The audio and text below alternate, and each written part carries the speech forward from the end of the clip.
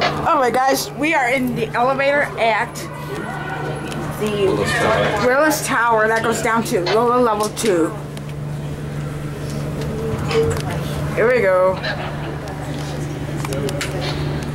Get a good view. Okay, yeah.